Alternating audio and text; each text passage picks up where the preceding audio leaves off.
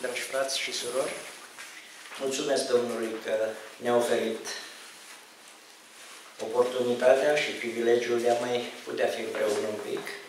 Eu mâine seara la ora 8 mă reîntorc înapoi la familie și la frați și la locul de muncă.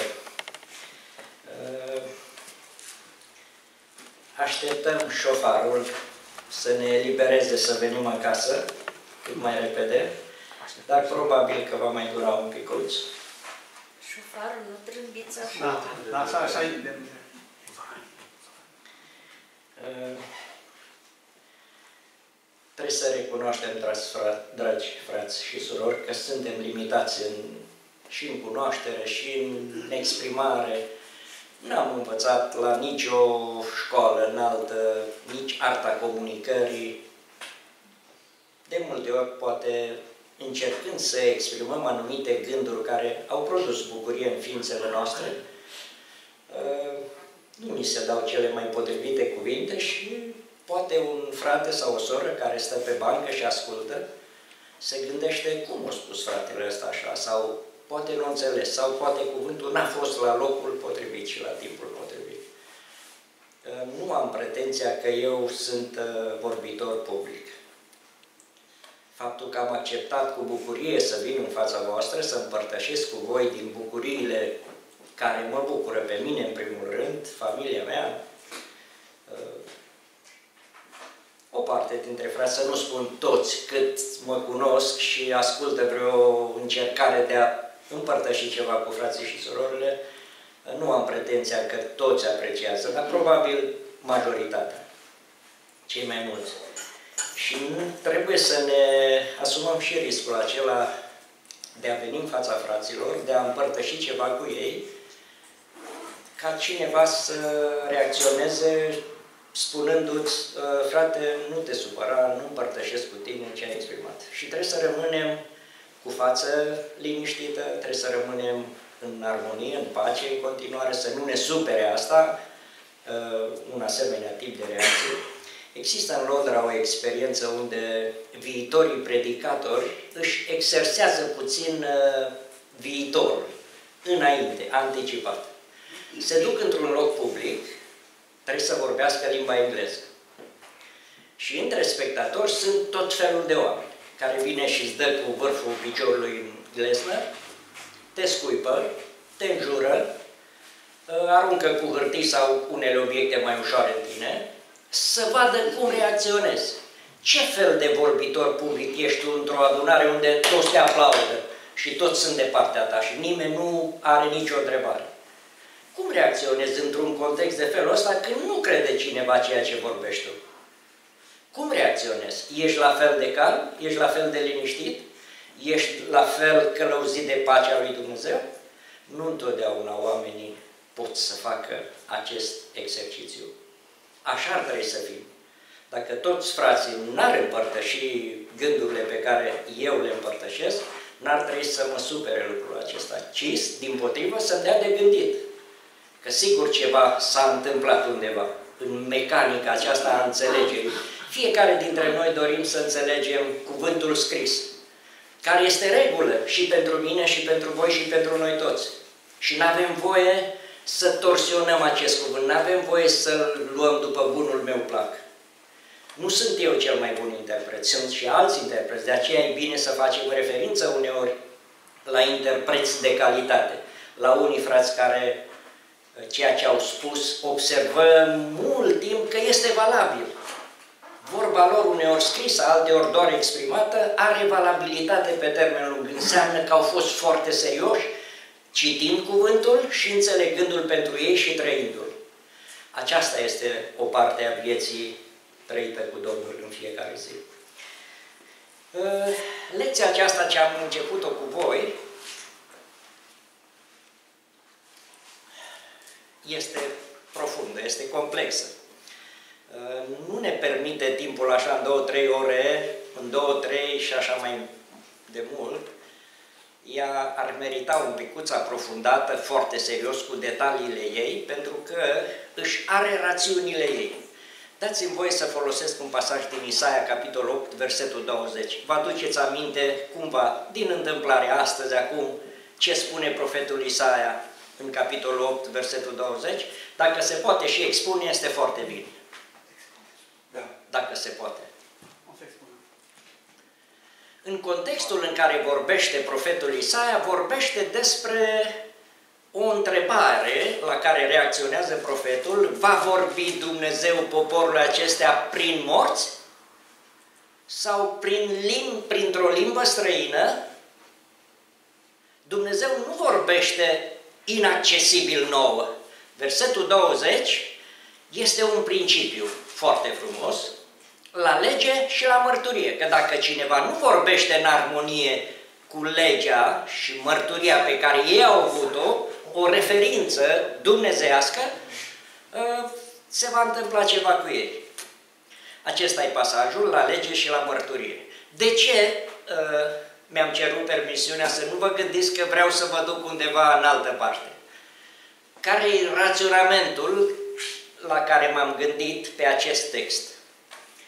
Această lecție este doar din primele cinci cărți ale Bibliei, de la Genesa și până la Deuteronom, adică tocmai legea. În sensul acesta folosesc pasaj acum, de data aceasta, pasajul din Isaia 8 cu 20.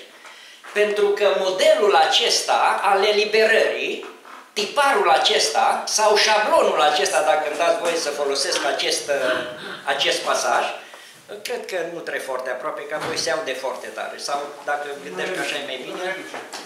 Ok. Uh, modelul acesta este cel din tâi model pe care ni l-a oferit Dumnezeu. Așa ca și lui Moise, Moise privește modelul și conform acelui model să faci un model în realitate, să corespundă întru tot. Dacă acesta e modelul, primul model, cel din tâi model, este bine să conștientizăm, să reflectăm asupra lui, pe marginea lui, să ne dăm seama de elementele lui definitorii, care îl definesc, cele mai importante, și să observăm cursul. Cursul este sigur de la creație, din Genesa și până în Canaan, până în Deuteronom. Deuteronomul se oprește cu Canaanul. Și legea se oprește la acest punct. Profeții vin să mărturisească despre ce urmează, despre antetipul acestui model, despre realitatea concretă, că acest model mai are un model. Dacă ar fi să deschidem o oglindă sau două pagini de carte, pe prima pagină am avea modelul acesta și pe a doua am avea modelul în care suntem noi, contextul nostru, al timpului nostru, când se va întâmpla, la fel o eliberare, cum s-a întâmplat atunci, nu făurită de oameni, nu bazată pe o cronologie stabilită de oameni, indiferent cine sunt oameni, indiferent cât de perfectă este cronologia. Și fără să aibă obiecții. Când Dumnezeu va instrumenta acest, acest lucru, această eliberare, ea va produce efectele scontate, așa cum au vorbit profeții. Apostolul Petru ne amintește că profeții au căutat să vadă ce vreme și ce împrejurări avea în vedere Dumnezeu, nu oamenii. Când vesteau mai dinainte patimile și gloria care aveau să urmeze. Patimile s-au întâmplat, moartea mielului s-a întâmplat, dar gloria încă n-a venit. Încă noi nu trăim de 100 de ani în gloria Domnului nostru Isus. Vă rog să mă iertați să fac această afirmație, nu ca să ofensez, nu ca să cumva să existe vreo idee de jignire. Nu am în intenție așa ceva. Dar trebuie să încercăm să exprimăm cumva lucrurile cât se poate declar. Că dacă vom rămâne, da dacă este așa, da dacă cumva poate fi, că ar fi nuanțe care să potrivească. Și dacă sunt nuanțe care să potrivească, cum să exprimăm, cum să facem lucrurile ca să fim în exprimarea noastră clar. Iar o, când încercăm să exprimăm anumite detalii, nu le încercăm în exprimare ca să jignim pe alți frați sau să le arătăm altor frați că noi suntem mai special decât ei. Nu aceasta trebuie să fie ideea. Dacă există dezbateri de idei, dialogul trebuie să nu fie răutăcios. Fața trebuie să rămână senină, noi trebuie să rămânem frați, să putem da mâna oricând și în orice împrejurare. Dacă ieșim bombănind de aici, dacă ieșim cu față roșie și cu vorbe prin spate, nu este ok, dragi frați. N-am dezvoltat ce trebuie să dezvoltăm suficient. Doar poate am început să dezvoltăm. Am, pentru că am considerat că acesta este modelul de bază, cel din tâi model. Modelul pe care îl avem în lege, adică în Tora. Și Tora aici este cea care aduce lumină de la Dumnezeu, nu de la oameni. Aici nu este Moise autor de eliberare. El este participant, coparticipant la eliberarea poporului Israel. Dumnezeu i-a dat o sarcină pe care unii au vrut să-i o ia și el a vrut să o lase, dar Dumnezeu n-a vrut să-l abandoneze, pentru că a fost cel mai smerit om al timpului acela. Și n-a avut un instrument mai special ca și Moise la acea vreme și ca și Aron, ca să-i pui în această funcție în care ei să fie piese importante în acest context al eliberării lui Israel din robia Egiptului. De aceea, fiecare element, faraon, întâiului născut, întâiul născut al lui Israel, mielul sacrificat, Moise și Aron, copiii lui Israel, nu i-am trecut aici, fiii lui Israel, poporul care era rob în Egipt, în acest context, ale, și care urma să iasă din Egipt, să meargă nu oriunde, ci înspre Canaan, patria promisă părinților lor, ă, acest traseu, acest plan l-a gândit Dumnezeu. În mic, în Tora, în lege, ca să-l folosim pentru a vedea ce se va întâmpla în planul al doilea. În planul măreț, al eliberării celei mai mărețe din istoria Mântuirii. De aceea am atins elementele, aș vrea câteva detalii asupra Canaanului și Iosua este participant aici al, în, această, în acest context al eliberării. Vă aduceți aminte ce, cu ce metaforă este numit Iosua în contextul Canaanului, după ce s-a trecut Iordanul, cu puțin înainte de pregătirea cuceririi Ierihonului, Cum este numit Iosua? Este un om simplu, este un evreu luat și pus acolo în succesorul lui Moise?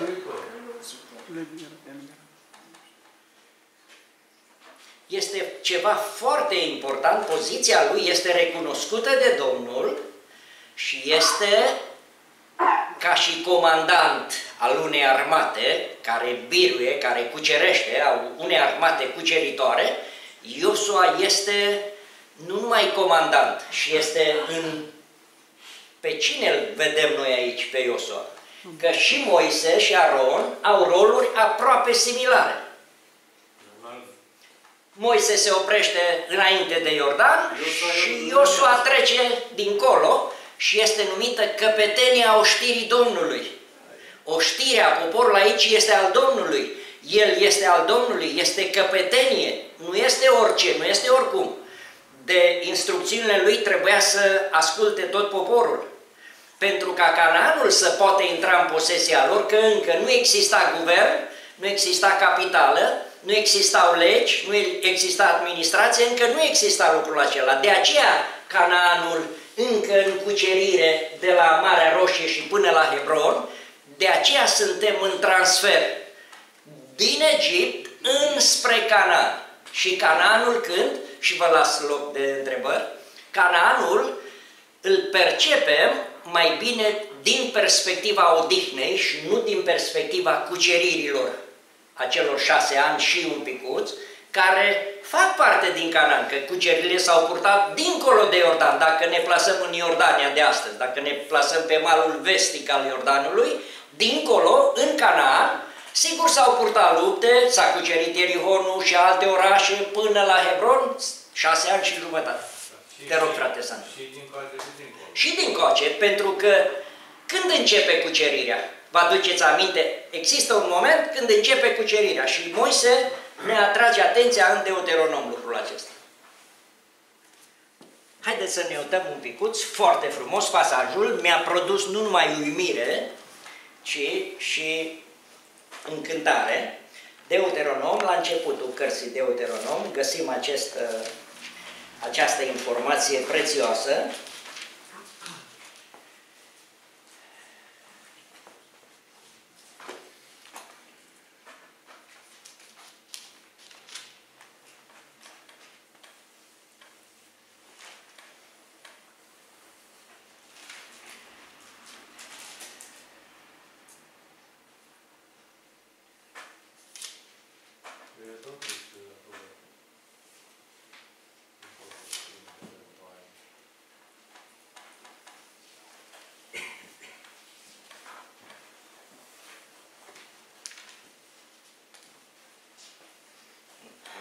Acum, acum să vedem dacă reperez pasajul la care avem un, într-un verset, începe cucerirea. Când primei seminții,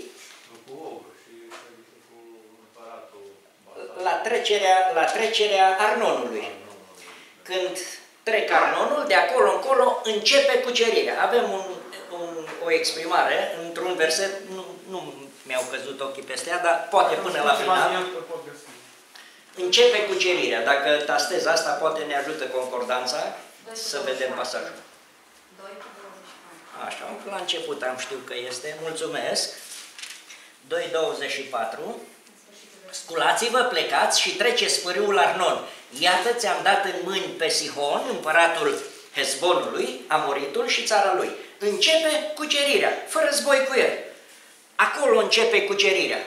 Și ea se sfârșește la Hebron. Deci este un proces de șapte ani, că tot acolo, dacă veți, vă veți uita la cronologie și la sistemul de ani sabatici, numărătoarea, primul an cu care începe prima săptămână de ani sabatici, începe aici, în acest moment, din coace de Iordan, nu în Iordan. Și primul sabat este în Iosua, capitolul 14, acolo unde am citit data trecută finalul cu Cananul, ă, informația și țara s-a odihnit un sabat, un an de zile a fost sabat, primul an sabatic în, ă, în noua întocmire ă, care reprezenta, era un instrument al Cananului, dar nu singurul. Că veneau cetățile de scăpare, venea capitala, venea administrația, veneau, veneau multe când vorbim despre Canan. Nu vorbim doar despre cucerire, vorbim despre perspectiva lui Dumnezeu asupra Cananului. Ori Dumnezeu nu avea perspectiva războiului în Canan, ci perspectiva liniștii, a păcii. Și vom vedea câteva pasaje încă din Isaia. Uh, fratele Sandu a dorit-o. Eu am vrut numai să întreb.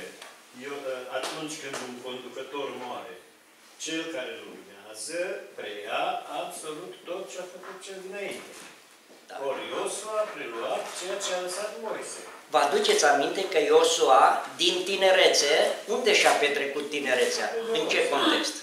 tot în cortul lui Moise, tot în contextul lui Moise și Moise l-a format ca o căpetenie în perspectiva finalității vieții lui, ca el să preia sarcinile de conducere a poporului înspre Canaan. Eu să avea încă mai mult știe cât Moise, pentru că el văzuse țara. Moise n-a apucat să Adevărat.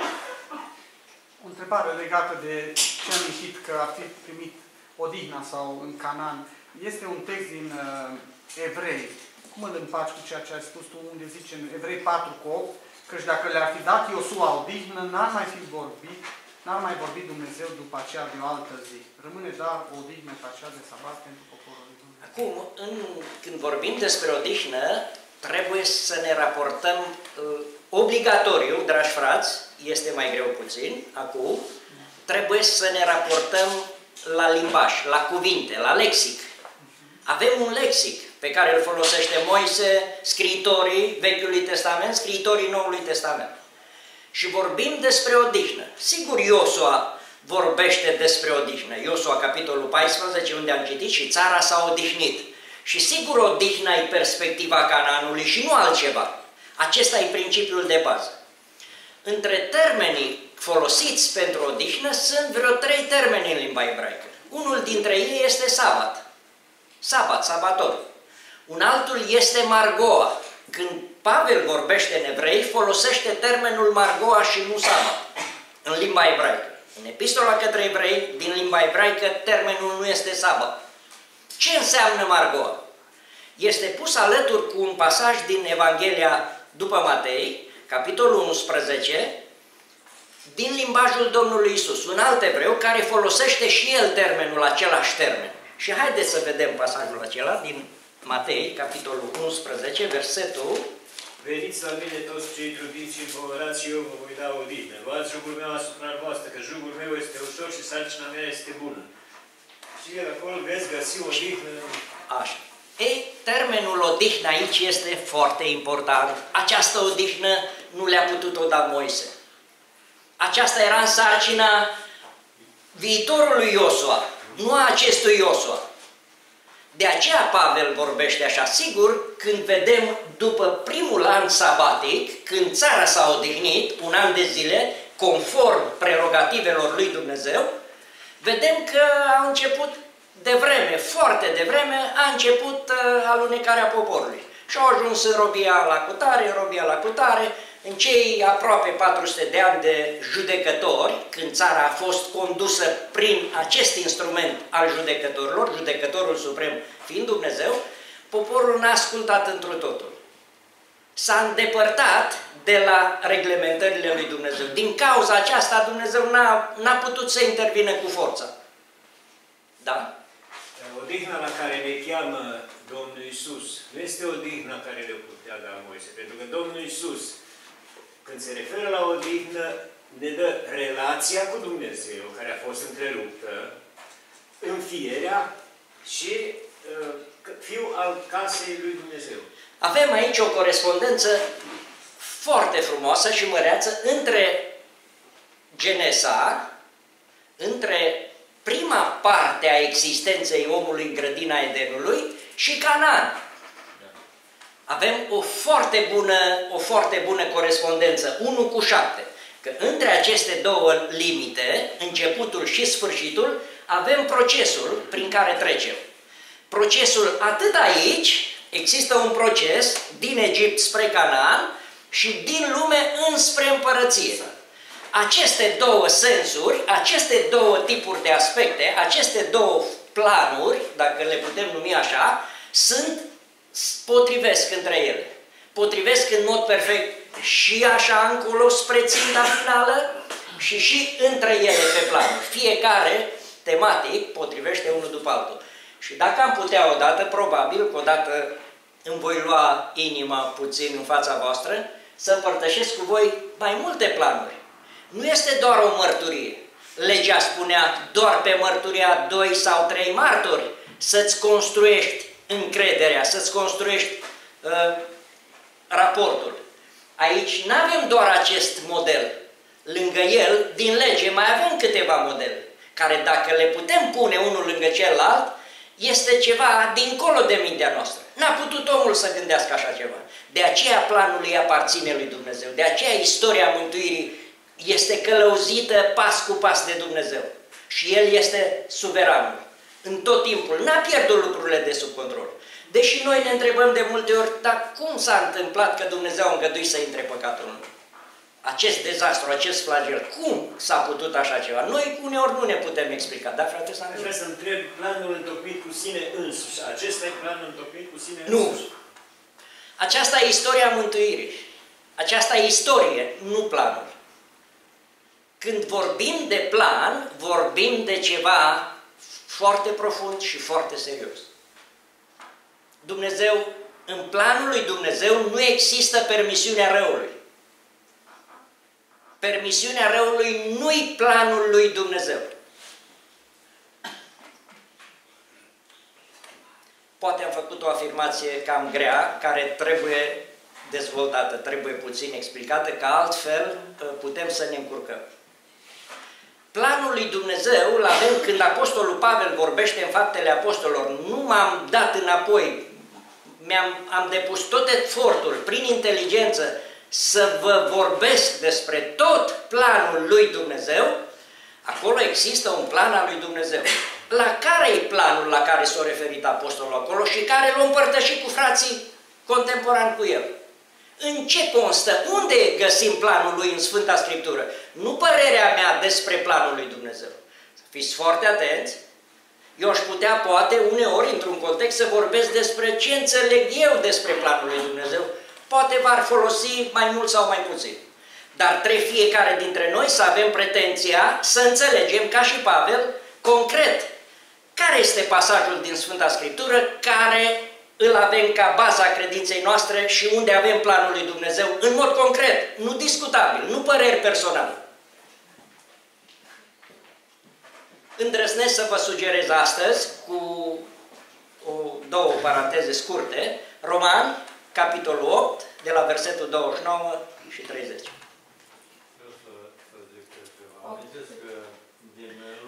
Poți să afișez și fratele le-a dat, te rog. Fariseii și învățătorii legii au zădărnicit planul lui Dumnezeu din botezul. Cu privire la el.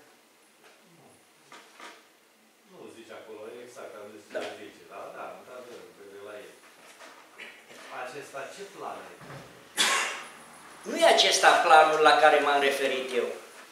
Planul lui Dumnezeu aici, cred că exprimarea, uh, uh, cuvintele folosite acolo sunt diferite de celelalte, sunt diferite și astfel ne arată planuri diferite și semnificații diferite. Aici planul lui Dumnezeu este ce a stabilit Dumnezeu pentru a ne apropia de El. Adică la Dumnezeu nu putem intra în împărăție dându-i cot lui sora Ana și lui fratele Rudi dincolo, adică folosim forța pentru a avea acces în împărăție, ci Dumnezeu pentru a intra în împărăția Lui a stabilit un plan, un set de valori, o succesiune de etape prin care trebuie să trecem, altfel nu intrăm în împărăție. Nu cine zice, Doamne, Doamne, intră în împărăție. Pentru a intra în împărăție există un plan al lui Dumnezeu. Dar nu-i planul lui Dumnezeu acesta, planul ăla la care face Apostolul Pavel, referință în fapte, 20, dacă nu greșesc, nu m-am sfit, nu m-am nu m-am retras, nu știu care ar fi cea mai încă reflect la o formulare de limbă română care să fie pe frumusețea limbilor clasice. Zice acolo, nu am ferit. Așa zice el, nu m-am ferit, dar este un alt, trebuie să fie un alt cuvânt mai frumos care a te feri, adică nu s-a dat la o parte, a depus, s-a educat, N-am ezitat. n-am ezitat, ar fi și mai frumos. Uh, Imaginați-vă că părinții lui din Tarsul Ciliciei și-au folosit averea pentru a-l educa la cea mai frumoasă universitate a timpului său. Aceasta a însemnat cheltuială financiară. Să ții băiatul la Ierusalim sau unde a fost școala lui Gamaliel n-a fost foarte simplu pentru vremea aceea.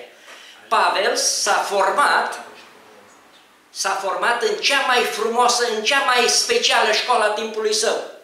Dumnezeu a avut nevoie de un astfel de instrument care să poată folosi legea și profeții în perspectiva scrierilor noului legământ. N-a folosit un om simplu, nu i-a turnat uh, așa câte un gând noaptea și Pavel îl scria ziua. Pavel a fost educat prin excelență, a fost cel mai educat dintre fiii lui Israel în direcția legii. El spune însuși, conform acestor instrucțiuni, sunt fariseu. Ce înseamnă fariseu? Cea mai bună școală, cea mai bună educație a timpului aceluia a fost a fariseilor. Să nu uităm lucrul acesta. Și ei acceptau și legea scrisă și legea orală. Aveau două legi.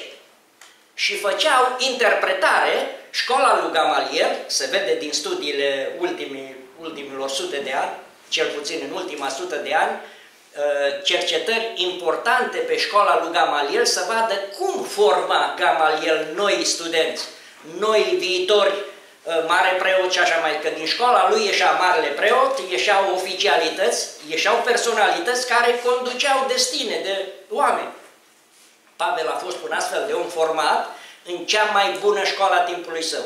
Și el când folosește în lexicul său, în lexicul de limbă ebraică, avem elemente speciale.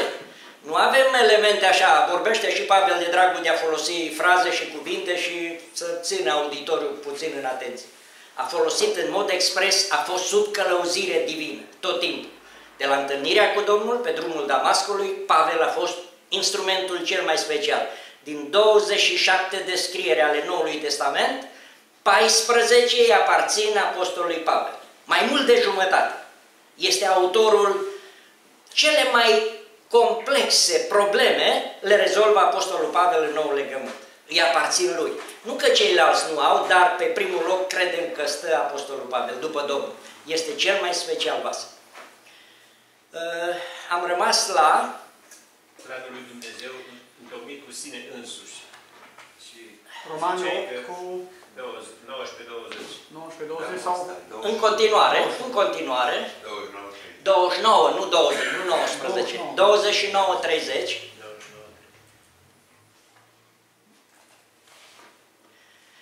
căci pe aceea pe care i-a cunoscut mai dinainte, cum i-a cunoscut Dumnezeu pe unii mai dinainte? Am putea să explicăm acest lucru, această primă etapă? I-a cunoscut în Hristos. Avem un pasaj în Efeseni, ea pe aceștia a cunoscut în Hristos. Dinainte, Dumnezeu a putut să-i vadă în Hristos ce carieră vor avea, ce caracter vor dezvolta, cum se vor pune la dispoziția lui Dumnezeu. Pe aceea pe care i-a cunoscut mai dinainte, i-a și hotărât. Când Dumnezeu i-a hotărât, pe acela nu-l smulge nimeni din mâna lui Dumnezeu. Când Dumnezeu hotărăște ceva, nimeni nu-i poate sta împotrivă. Acesta e planul lui Dumnezeu. Asta e plan. Aici avem elemente de plan care nu sunt contradictorii. Când zicem plan, la planul divin al vârstelor, la așa mai departe, avem conflicte de teorii.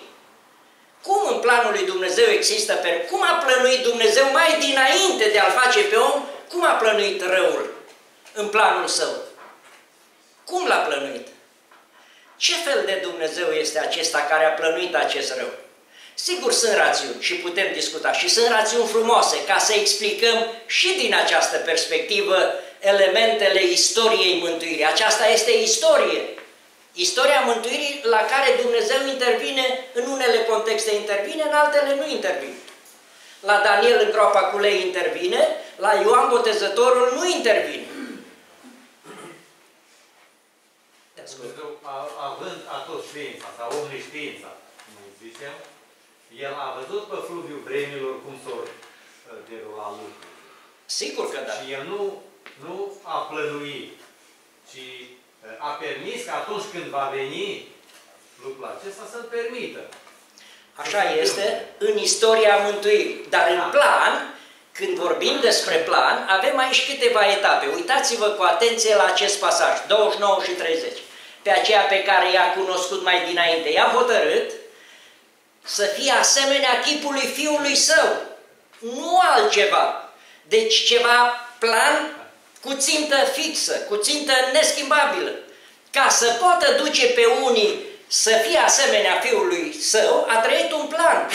Și Dumnezeu a trebuit să aibă o strategie pentru aceasta. Acest, aici e planul lui Dumnezeu. Acesta e planul lui Dumnezeu, nu altceva.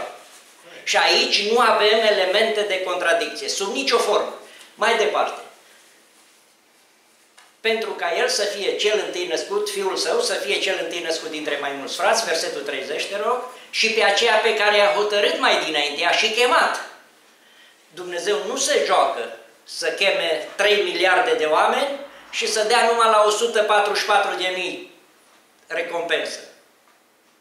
Pe aceea pe care i-a chemat, i-a și dus până acolo unde trebuie și îi și glorifică până în final.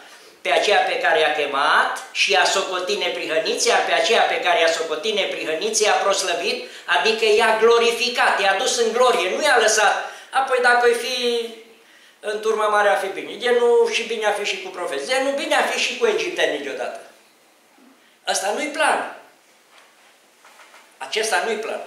Aceasta e gândire omenească nouă ne place gândirea asta, că ne gândim, mă, dacă alerg cu fratele Rudi, el de 30 de ani, eu de 60, sigur că el fuge mai repede ca mine și eu nu-i putem lua locul unul nici cum, noi ajunge la ștafetă deodată cu el, că se duce mai... Dar Dumnezeu, când cheamă pe doi, pe unul tânăr și pe unul în vârstă, El îi duce la premiu unul pe amândoi. Sau pe cât îi cheamă El, pe aceea îi duce la glorie. Aici avem șapte etape, dar nu se văd doar dacă ești foarte atent la detaliile textului. Da, frate Iulian? Uh, am vrut să spun că cineva ar putea aminti versetul uh, mulți chemați, puțini aleși. Sigur Asta că se da. explice aici. Există uh, aici, la chemare, există două nuanțe de chemare. Chemați conform planului și chemați ca să devină copii al lui Dumnezeu. Toți vor deveni copii al lui Dumnezeu, toți sunt chemați să devină copii al lui Dumnezeu, dar chemați conform planului său sunt puțini și aceia sunt și aleși, aceia sunt și duși în glorie. Profetic, toate popoarele sunt chemate. Toate popoarele vor deveni, inclusiv egiptenii, vor deveni fiii lui Dumnezeu până în final, în Canaan. Dar astăzi, fiii lui Dumnezeu se diferențiază. Avem câteva categorii de fii. Avem cel mai special fiu, fiul lui Dumnezeu, cel întâi născut, ca el nu este nimeni. Avem după el fii prin actul creației. Dumnezeu a făcut multe ființe pe planuri spirituale și sunt fiii lui Dumnezeu. Nu au aceeași calitate ca și unicul fiu al lui Dumnezeu. Apoi l-a făcut pe Adam pe pământ și Adam a fost fiul lui Dumnezeu, dar de o altă natură diferită de fiul lui Dumnezeu de natură spirituală. După Adam mai avem fii prin făgăduință. Unii dintre urmașii lui Adam li s-a promis că vor fi fiii lui Dumnezeu și au fost în această relație de fii, fii prin făgăduință. Apoi avem, mai târziu puțin, după Domnul Isus, avem fii prin adopție. Și aceasta este biserica. Ei s-au născut în păcat și fără de lege, dar au fost adoptați și au trecut prin procesul adopției ca să-i ducă Dumnezeu până în glorie. Această categorie de fii prin adopție este cea mai specială. Da, frate Iulian. Aceștia sunt cei pe care i-a cunoscut în Hristos. Aceștia sunt aceia pe care El le-a văzut dinainte, le-a văzut sfârșitul înainte de a începe cursul, pe aceștia i-a chemat, pe aceștia i-a ales, pe aceștia i-a dirijat până în glorie. Și Dumnezeu nu se joacă cu un om să-l cheme, să-l aleagă și să-l abandoneze în următoarea etapă. S-a îngrijit de el până la glorie, până la finalul cursului lui. Pentru că a intrat într-o școală, într-un curs, nu omenesc. A intrat în mâna lui Dumnezeu. Creație nouă, când vorbim de creații noi, sunt fii aceștia, prin adopție, care îi face nouă creație. Păi ca să devii o creație nouă, nu devii într-un vis noaptea. Și mâine te duci cu o grupă de frați și zici, bă, sunt și eu fiu prin adopție, sunt și eu fiul cel mai special, suntem fii speciale al lui Dumnezeu. Dar vom face diferențieri când ne vom uita cu atenție la acest detaliu, fiii lui Dumnezeu, vom vedea că sunt multe categorii de fii.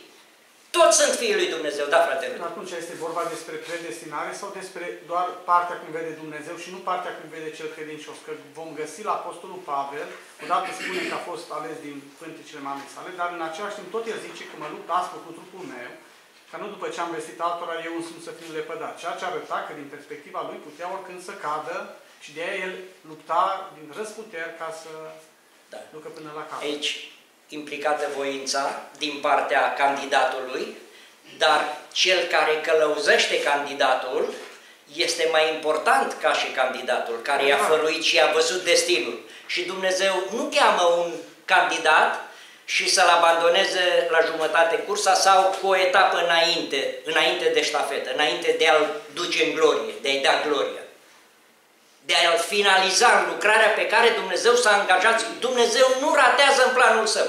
Absolut deloc.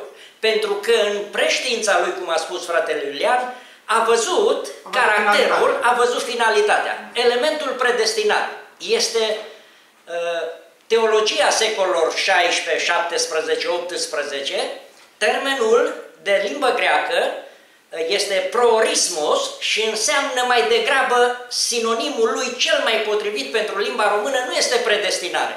Deși foarte mulți teologi axează acest tip de lingvistică, predestinare, dar nu este predestinare aici, este alegere. Nu predestinare, ci alegere. Alegere divină, nu alegere omenească. nu, uh, nu invitația mea, mă auto-invit în planul lui Dumnezeu. N-am nicio șansă. N-am nicio șansă să mă duc la glorie eu, cu știința mea, cu planul meu, cu inițiativa mea din propria mea, dacă nu sunt un chemat, ales și dirijat pe acest segment. N-am nicio șansă. De aceea planul lui Dumnezeu este măreț, îi aparține lui și el merită toată cinstea, toată gloria și toată lauda. Nu-i omenesc nimic aici, nu-i participare omenească. De aceea, final, după șase mii de ani de dezastru, ce vor fi aceștia? Pavel zice tot în Romane 8. Când se vor descoperi acești fii al lui Dumnezeu și vom cunoaște cum vor fi ei. Cei mai special fii al lui Dumnezeu. Nici nu ne putem imagina. La care și îngerii deci tot universul va fi încântat de efectul, de finalitatea lucrării lui Dumnezeu, că cel din tâi rod al lui Dumnezeu dintre oameni, cine este? Cel din tâi rod. Iisus. Domnul nostru Isus, primul, cel din tâi, dintr-o serie de fii. Și urmat de o serie de fii. La fel de special că zice ce va face cu ei. Să fie asemenea lui. Pe această, fiind, această nouă creație atât de măreață în perspectiva planului lui Dumnezeu, nu putem să comentăm pe margine. De aceea trebuie să fim foarte atenți, să nu ne lăsăm antrenați în uh, mediocrități și în alte reverberații în gândurile noastre. Trebuie să fim foarte serioși. Există o, un exemplu, vă rog să-mi permite să... Nu ca să bat apropouri, nu, ca să reflectați la ce se poate întâmpla. Între concurenții care participă la concursuri, există mulți tineri care vor și sunt îndemnați să meargă la concurs. Are voce bună, ai voce extraordinară. Dar cel ce invită, cu un mod special pentru a face teste, vede că acest candidat nu are cea mai bună voce și că de câte ori interpretează o melodie, cântă fals. Nu cântă după note, conform timpilor și așa mai departe. N-are talent. N-are talent, cu alte cuvinte. Dar îi spune, tu cânti cel mai bine, ca tine nu cântă nimeni, ai șansă să iei locul 1. Și candidatul crede lucrul acesta. Nu este în măsură să-și evalueze propria cântare. Nu poate. Se lasă după ureche, se lasă încântat de ce îi spune semenul lui. Tu ești cel mai bun, tu ești cel mai frumos, tu ești cel mai bun credincios.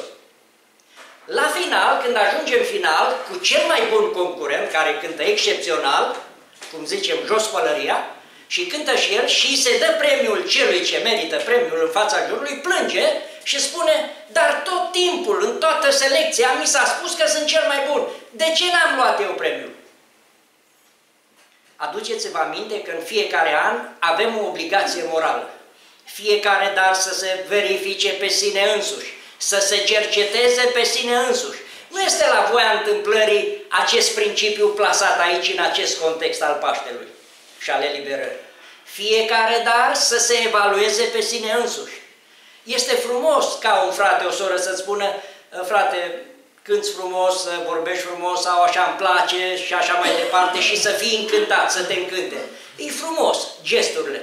Dar trebuie să nu uităm că suntem limitați și că dacă Dumnezeu se îndură și are milă de noi, vom deveni ceva. Dacă Dumnezeu nu ne angajează undeva într-un concurs cu o finalitate de felul acesta, cu o țintă specială, putem să devenim fii al lui Dumnezeu, să nu ne pierdem aici. Nu înseamnă că trebuie să ne pierdem speranța.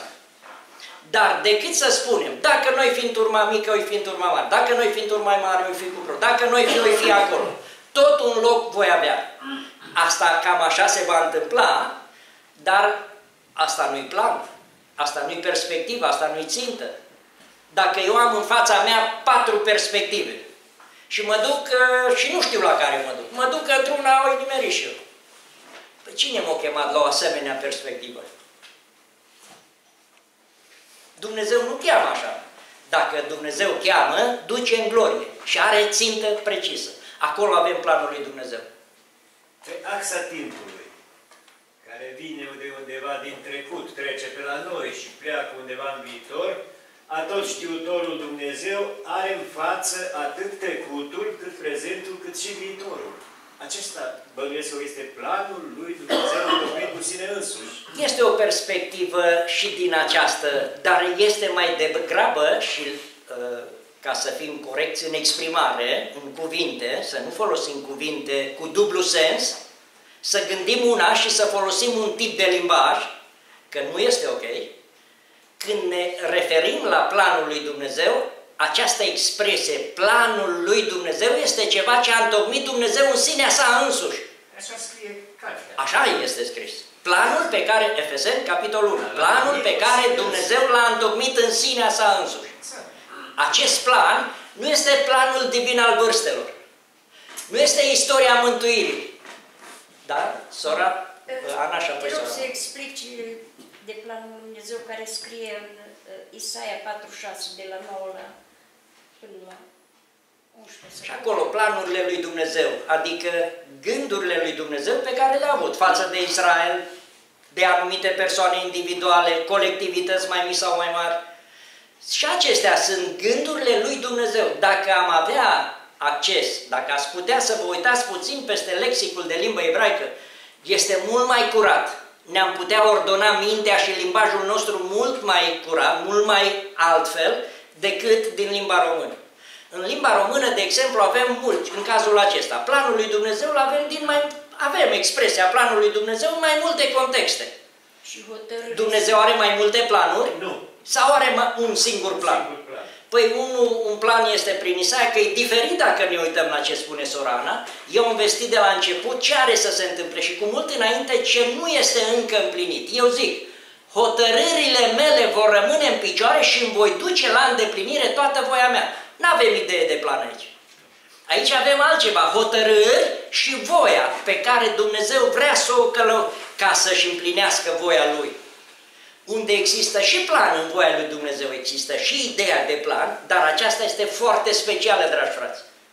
Vă rog să faceți diferență între planul, care este planul lui Dumnezeu, întocmit în sinea sa însuși, și hotărârile lui. În istoria mântuirii Dumnezeu are multe decizii, multe, cu Israel, cu indivizi, cu colectivități și așa mai departe, și până la noi. Deci rămânem la, la, rămânem la uh, concluzia că oamenii fac și au planuri, Dumnezeu are un singur, Singur plan. plan. Așa este scris cel puțin. Nu putem să ne permitem aici să facem uh, altceva. Sora Ce am vrut să revin la, înainte, ai vorbit de chemare. Nu știu, sunt mai multe chemări sau potrivit ce spune Pavel că frați sfinți care aveți parte de chemare cerească. Este aceeași, asta e, asta e chemarea nu? asta, sigur. Nu sunt Când mai e multe. vorba de chemare cerească, nu o putem pune într-un alt plan, Da. la altceva, la o altă țintă. Aceasta este chemarea specială. Da. Această chemare Deci specială, aici trebuie să fim de Dumnezeu, acord, da? exact, Dumnezeu nu se joacă cu oameni, Da.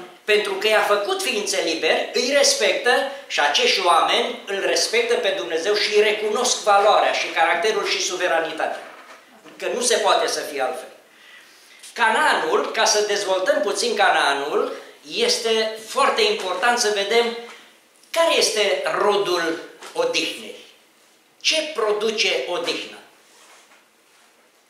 Avem câteva pasaje la care merită să ne oprim puțin și vă sugerez câteva.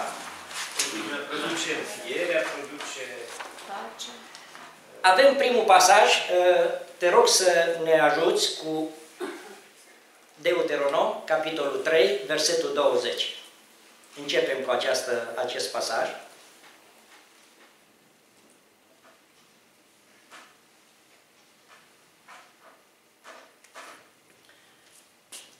Prima, primul rând de sus. Până ce Domnul vă va da odihnă fraților voștri ca și vouă. Încă suntem dincoace de Iordan. Și a început să dea un fel de odihnă primelor trei seminții. Când a spus aici e zona voastră, dincolo va fi o altă zonă a unei alt, alt trib, dincolo va fi un alt trib și, și voi aveți obligația să mergeți cu frații voștri la luptă și până le va da și lor, că vouă deja vă căzut la sorți teritoriu. Dar dacă ne-am oprit cu odihna aici, dincoace de Iordan, fără capitală, fără guvern, fără conducător, fără judecător, au avut odihna? Aici odihna folosită, trebuie să vedem sensul, este în sensul că le-a căzut partea de teritoriu, le-a căzut la sorți. Cu alte cuvinte, aici ei vor avea odihnă, vor, vor trebui să stea în odihnă, în liniște și în pace.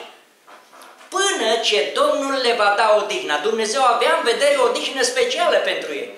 Printr-un set de valori, că trebuie să introducem aici, numai să reflectăm asupra sistemului de ani sabatic și jubileul.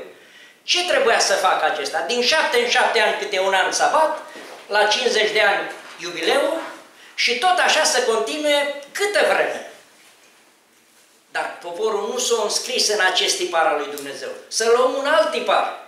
Tiparul cu cetățile de scăpare, care este o altă lecție ce aș vrea să o împărtășesc cu voi, ce am văzut câteva frumuseți care nu prea se tratează, cel puțin în public. Nu știu, nu am pretenția că am ascultat pe toți frații din lume la acest subiect, dar n-am văzut în ce am căutat eu până acum, nu am văzut tratat subiectul cetatea de scăpare. Un alt element al Cananului, cetatea de scăpare. Încă la acest timp din coace de Iordan nu exista cetatea de scăpare, acest sistem al cetății de scăpare. Nu există. Nu ex încă. Este după ce primesc ulterior, un pic mai târziu. Dar de vreme, totuși destul de devreme, se stabilesc regulile Cananului. Și are niște principii Cananul. Și are timpii lui, și are valorile lui, și are reglementările lui, și are guvernul lui, și are mai multe. Noi astăzi nu putem să vorbim despre Canaan. Suntem în cucerire, înspre Canaan. Suntem cu această țintă ultimă pe care Dumnezeu, cu această perspectivă pe care Dumnezeu, încă nu trebuie să ne oprim, încă nu putem să spunem din 1874 sau din 1914 sau dintr-un alt an, oricare l-ați alege, suntem în odihnă, suntem în împărăție. Nu suntem. Dacă spunem lucrul acesta, creăm o confuzie. Nu vreau să supăr pe nimeni, nu vreau să jignesc pe nimeni. Doar un semnal finuț de atenționare. Dacă este, se poate să mai reflectăm o dată. Confuzia e creată de mult. Ă, obligația noastră este să nu ne lăsăm antrenați în exprimări duplicitare sau cu două sensuri. Sau, mai grav, să folosim un tip de limbaj și înțelegem altceva pe baza acestui limbaj. Nu se poate așa ceva interpretat. Nu se poate să spunem pe baza unui pasaj că eu îl înțeleg așa și să-l impun fraților și frații când îl citesc nu mai nu pot să înțeleagă la fel ca și mine. Păi nu înțeleg la fel ca și mine că eu am forțat nota interpretării acelui pasaj. Și frații nu forțează, sau invers. Se poate întâmpla invers. Trebuie să fim foarte atenți și eleganți. Nu este cuvântul nostru, nu este cuvântul meu. N-am eu să mă dau ce să eu, eu sunt fratele vostru. Și nimic mai mult. Eu pot să greșesc, de aceea voi aveți obligația să fiți atenți și cu urechea și cu ochiul și cu toate. Și dacă se întâmplă o greșeală, să încercăm să o reparăm. Frate, ai spus asta. Cum, cum se aliniază la un alt set de valori sau la alte principii? Și atunci vedem dacă putem să fim rezonabili sau nu. Dacă este loc de o cântare cu mare drag. Frate Rudi. Da. Nu, fratele Eu la fratele De mult, de mult s-a cântat o cântare foarte frumoasă cu Erihonul, dacă ți aduce aminte de ea. Până o caută fratele Rudi, dacă cumva poate să fie pe rol. Două seminții și jumătate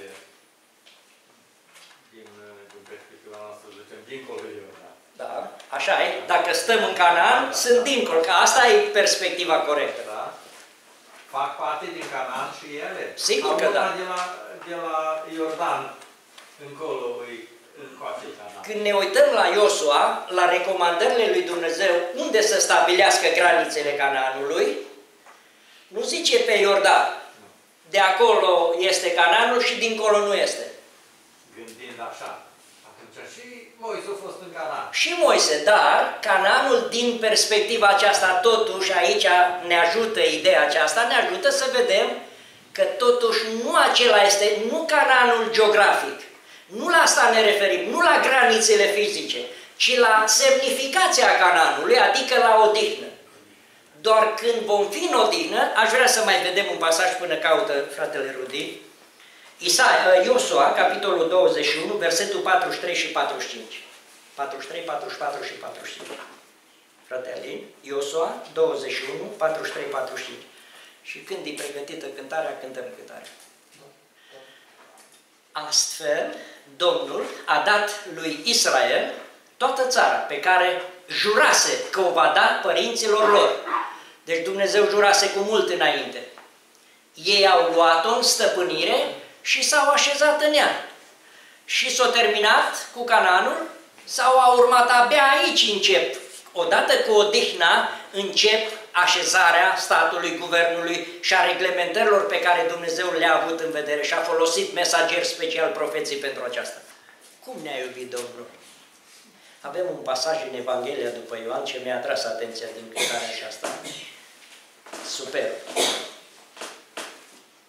Vi-l aduceți și voi aminte? Cum ne-a iubit Cum ne-a iubit pe noi. Pe Atât noi, de mult. cum suntem noi. Și acela este unul, dar este unul mai special. El, Spune. el, Ca și pe Domnul Isus Hristos. Asemenea, cum l-a iubit pe Fiul Său, așa ne iubește și pe noi. Nu cu altă iubire. Deci vorbește Dumnezeu. Vorbesc de Tatăl, Da. cum ne-a iubit Dumnezeu. Că zice într-o strofă acolo despre iubirea pe care Dumnezeu ne-a acordat-o nouă. Păi am avut noi vreun merit să ne iubească la fel ca și pe Fiul Său? Nu. Nu, nu. Și dragostea nu stă în faptul că noi l-am iubit pe Mai Dumnezeu, întâi, și mai El. întâi, ci El ne-a iubit întâi, că a trimis pe Fiul Său. E așa frumoasă nuanța asta, dacă vă veți opri puțin peste ea, în Evanghelia după Ioan, veți vedea cum veți savura și cum, veți, cum îl veți percepe pe Dumnezeu. Cât de măreț este, că nu ne-a spus ești așa cum E, se ești identifică cu și te-a iubirea. iubit, ca și pe Fiul Său, care n-a avut greșeală, care n-a avut păcat. Păi să te ridice la acest rang, să te iubească cu aceeași iubire, mare favoare, mare har, mare dar. Da, Nemeritat. În logica tatălui. Aceasta e logica lui. În, în, în logica lui. Și noi suntem creația lui. Așa e. Și noi, să- cu toate că s- am fost o vreme rătăcitori, Dar, în rătăcire, dar suntem și îmbrăznici să fim iubiți atunci. adevărat, dar nu din perspectiva noastră, Nu. doar dintre lui. Da. Mila lui este la mijloc. Că dacă ar fi doar dreptatea, Uh, Un alt pasaj la care aș vrea să ne oprim puțin, Isaia, aici o să vedeți ceva foarte frumos, Isaia, capitolul 30, versetul 15.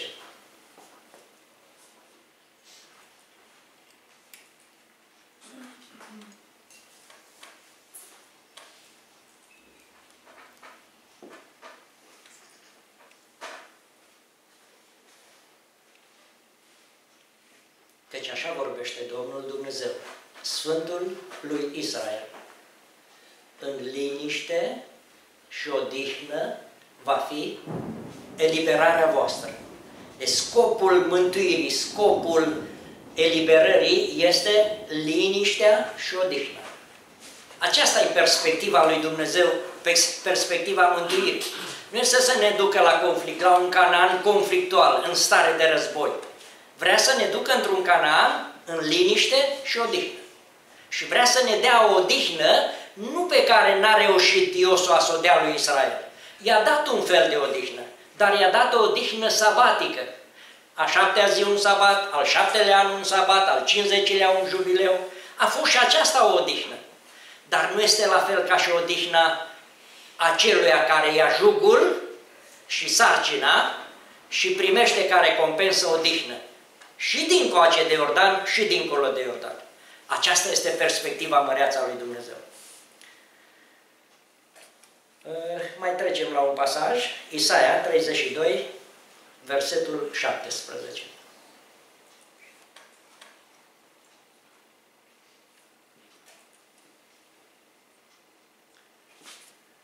Lucrarea neprihănirii va fi pacea. Reflectați la acest pasaj puțin cu multă seriozitate.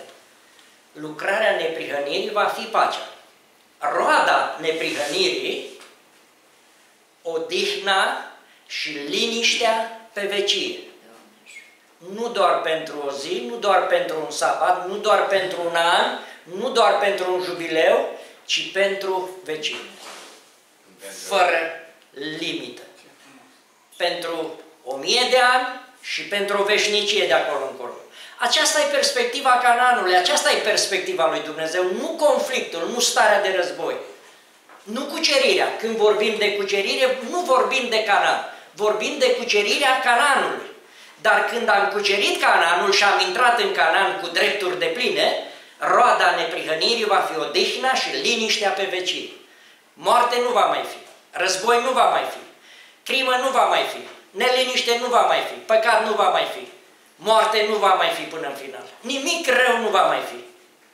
Pentru că Dumnezeu a văzut un asemenea canal care este posibil să-l cucerească cuceritorii, biruitorii. Atunci se va împlini legământul făcut între Dumnezeu și Avram? Da. Acolo e perspectiva ultimă, cea mai măreață, finalitatea, împlinirea cu desăvârșirea promisiunii lui Dumnezeu pe această linie. Că altfel, parcă nu-i complet, parcă nu-i întreg, e doar o parte, doar un, o secvență, care e frumoasă și aceea, dar când e în întreg și Mângâietorul a venit cu ce scop aici, pe pământ, după ce Domnul a plecat la Tatăl? Printre alte lucruri. Un detaliu la care vi-l amintiți cu siguranță. Ca să ne descopere tot adevărul, nu doar un segment, ca și la unii. Păi, doctrina noastră e asta. Noi ne bazăm pe lucrarea Duhului Sfânt. Noi ne lucrăm pe lucrarea cu tare. Noi ne bazăm pe lucrarea cu tare. V-am învățat tot ce v-am spus. Da. Când apare pentru prima dată în lege, în contextul acela, îndemnul sugerat încă în timpul lui Moise, este în timpul vieții lui Moise, să-L iubești pe Domnul Dumnezeul tău cu cele patru aspecte și pe aproapele tău ca pe tine însuți. Deuteronom apare în final, în Deuteronom, nu în Exod, nu în călătoria prin, pare la final, acolo, aproape de granița Cananului. Să-L iubești, pentru că o nouă generație care n-a fost tăiată în prejur și care a devenit tăiată în prejur, a primit această recomandare, această avertizare să-L iubești pe Domnul Dumnezeul tău și pe aproapele tău. Aceasta e o reglementare ce potrivește mai mult Canaanului decât procesului de cucerire al Canaanului. Acolo, în Canaan, trebuia să se întâmple lucrul acesta. Și în Canaan, cu adevărat, se va împlini lucrul acesta. Va fi, Dumnezeu va fi iubit la modul superlativ, la finalul regatului milenar, Domnul Isus va preda El însuși împărăția Tatălui. Ca Tatăl să fie totul în toți. Dumnezeu va avea nevoie de iubirea noastră și noi de iubirea Lui. Nu că Dumnezeu are nevoie de iubirea noastră, dar El are nevoie de relație. Când am spus asta, m-am referit la relație. Între Dumnezeu și oameni există o relație. De aceea Dumnezeu iubește lumea atât de mult încât a făcut un plan în care Fiul Său este jertfă de ispășire pentru păcatele noastre și nu numai pentru ale noastre, ci și pentru ale lumii întregi. Relația face parte din odihnă la care ne cheamă Domnul Isus. Exact. Acolo relațiile vor fi desăvârșite, vor fi perfecte. Ca și în grădina Edenului. De aceea grădina Edenului și cu Cananul, cu împărăția milenară, corespund, sunt la fel. Ce a fost, va mai fi. Și la fiecare, în etapa a doua, ce a fost în etapa a doua, va fi în etapa a șasea. Ce a fost în etapa a treia, este în etapa a cincea și mijlocul susține acest aranjament al lui Dumnezeu. Pentru că este aranjamentul lui, nu perspectiva mea, nu înțelepciunea mea, nu plan. Eu n-am aici decât să mă bucur că reperez elemente dumnezeiești în perspectivele lui Dumnezeu. Atât în istoria mântuirii, atât în planul lui, atât în alte detalii ale aranjamentului lui Dumnezeu. Nu este frumos aranjamentul lui? De ce avem îndemnul lui aparține toată lauda, toată gloria, toată cinstea și nu nouă. Dacă noi vedem ceva, o frumusețe, un detaliu și ne bucurăm de el, nu înseamnă că frații trebuie să ne aducă cult nou. Nici poveste. Noi trebuie să păstrăm relația, să ne bucurăm că Dumnezeu a avut milă de noi și ne-a mai deschis puțin ochii minții ca să înțelegem cât de măreț este Dumnezeu în aranjamentele sale și în ființa sa și în planul său, în caracterul său și așa mai departe. Uh, dacă mai aveți întrebări, vreau să mă opresc aici că e prea frumoasă lecția și n-are final. Până în veșnicie, lecția asta n-are final. Atât am putea să vedem detalii mărețe tot timpul. Da, frate Sandu. Aș vrea o întrebare, dar nu se cred că am abuzat de prea mult. Dacă nu există o altă mână, ai prioritate. Data trecută ai pomenit că în vremea aceea vor fi cinci cetăți în Israel, a cincea se va fi cetatea nimicirii și totodată la portarele Egiptului va fi un stâlp de aducere aminte. Cam ce ne spune? Interpretarea clasică este aceea că stâlpul acela de aducere aminte este piramida lui Cheops. Nu împărtășesc, în ultimii ani, nu împărtășesc acest gând îl recunosc, știu, frații noștri s-au ocupat de el, au sugerat acest, această interpretare, dar nu cred că Mațeva, stâlpul acela din limba ebraică, este piramida lui Cheops.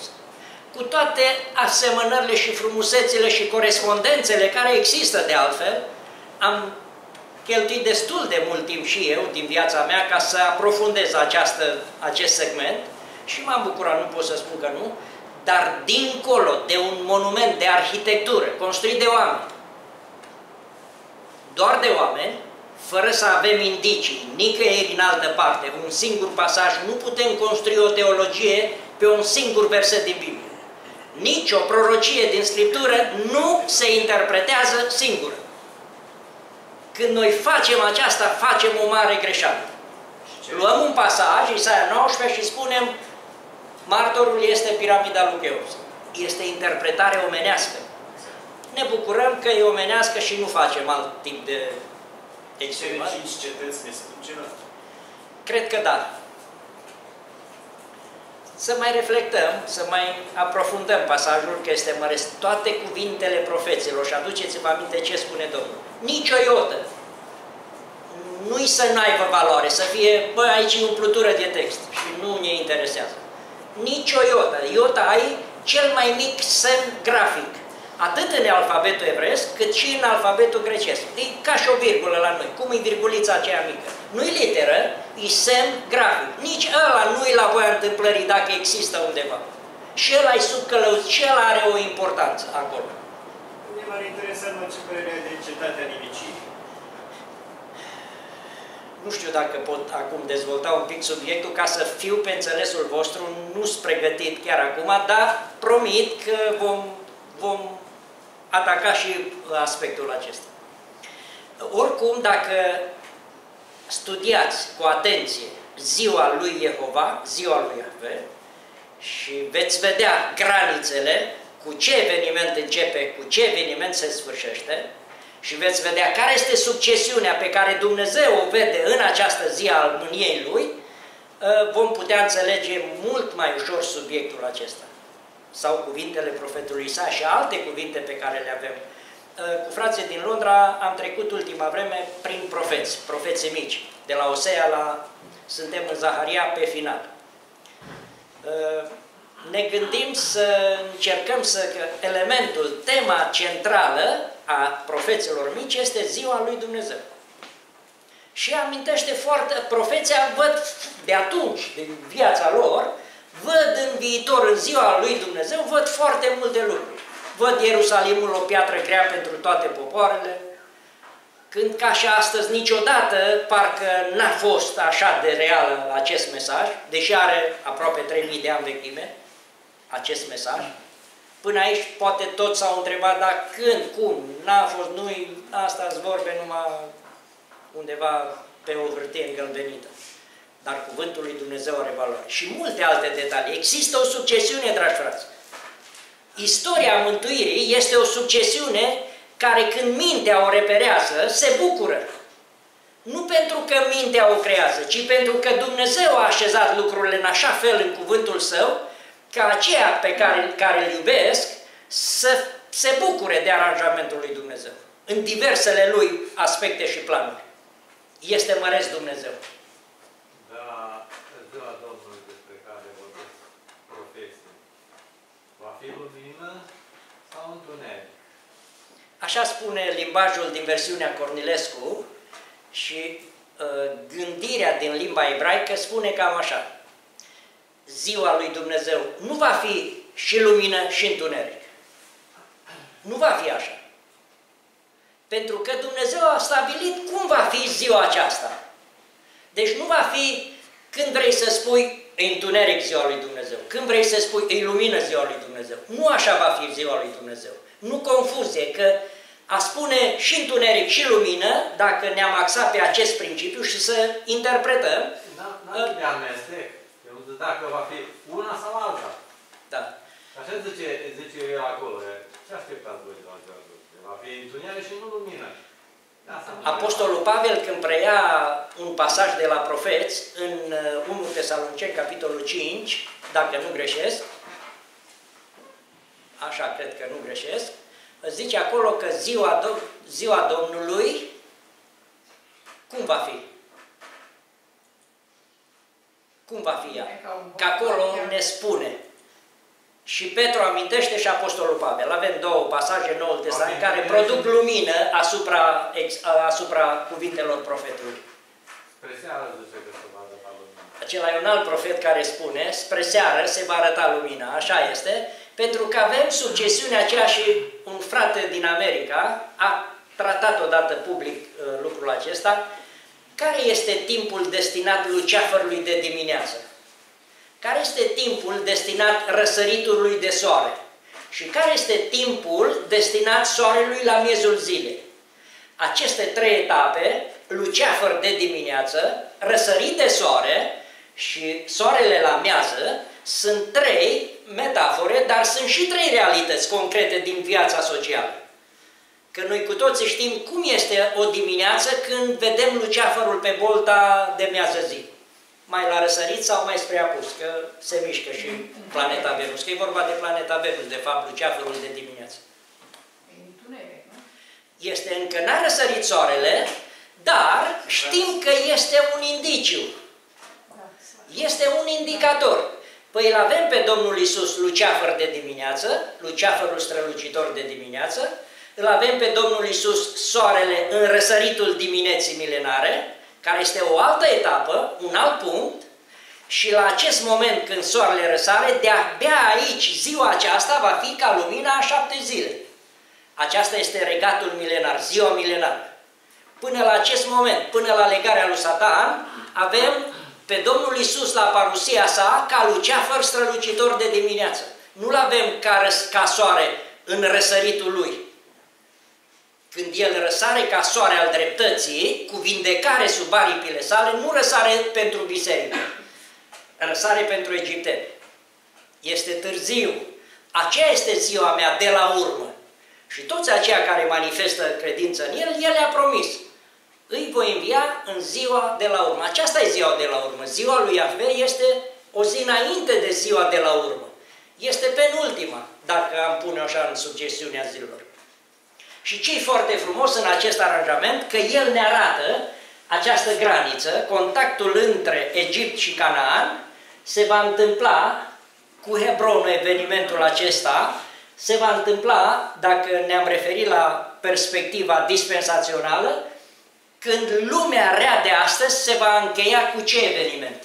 Și avem o scriptură care nu putem comenta cu păreri personale. Revelația, capitolul 20, versetul 4. Fiindcă toate aceste lucruri să se strice ce fel de oameni ar trebui să fiți voi grăbi venirea zilei lui Jehova. Asta este un picuț mai înainte, dar eu mă refer aici. Că acest eveniment este un pic... De data trecută ai notițele acolo Să întorc hârtia? Stă de toate întoarce și așa mi-amintesc. Uh, nu e necesar acum să pierdem timpul, că putem face. Acest eveniment este unul și eu m-am referit că granița asta se încheie, dacă am trage o linie pe aici, în dispensaționalism, se încheie unde? Unde se, și am vorbit atunci despre cel puțin două perspective de diferențiere între cele două lumi lumea rea din prezent și lumea viitoare. Noi nu așteptăm o lume prezentă, o dispensație în această lume rea de astăzi, care se va încheia cu un eveniment, nu cu un proces. Deci lumea rea de astăzi începe la potop și se sfârșește unde? Se sfârșește cu legarea lui Satan. Acesta este evenimentul. Până la legarea lui Satan avem lumea rea de astăzi. Când Satan va fi legat de acolo încolo avem viitor. Avem Canaan din perspectiva lui Dumnezeu. După, înainte de legarea lui Satan, nu avem Canaan. Da. Suntem încă sub puterea lui, sub, sub săgețile lui, sub puterea lui. Suntem în lumea rea de astăzi. Nu-i lumea lui Dumnezeu, este lumea celui rău, a răului, sub toate formele sale. Dar ea pe ea Dumnezeu o va înghiți, o va dărâma, o va strica în ziua mâniei lui, care este ziua aceasta. Și aici, ziua aceasta începe cu un eveniment și se sfârșește cu un eveniment. Și acestea nu sunt discutabile. Nu se poate spune că e părere personală. Că dacă ne uităm cu atenție în aranjamentul lui Dumnezeu, când ne uităm la moartea mielului, nu-i părere personală. Este eveniment pe care Dumnezeu l-a avut în vedere în istoria mântuirii, când să se întâmple și în armonie pe ce principii. Și când vrea să încheie această dispensație, se referă la un eveniment precis și clar, care nu-i discutabil. Dar e părerea ta, frate. Poate fi și părerea mea. Dacă e bună, să o păstrăm. Dacă nu e bună, să nu o păstrăm. Și să nu ținem la ea. Da, frate. E adevărat că suntem sub puterea Lui. Pavel ne spune că Dumnezeu nu scoate sub puterea Dumnezeu. Sunt două perspective, e frumoasă nuanța, sunt două perspective. Sigur, încă există Canaan dincoace de Iordan. și acestea sunt cele două aspecte, dincoace și dincolo de Iordan. Ca și perspective. Ca și perspective, sigur. Și reale și spirituale. Noi, deși trăim sub puterea celui rău, nu ne lăsăm călăuziți de principiile lui. Noi avem alte principii, ne guvernăm după alte standarde. De aceea suntem viitori aparținem Canaanului, dar încă de astăzi, pentru că ne-am înrolat să câștigăm, să devenim biruitori ai Canaanului. Suntem în procesul acesta al luptei.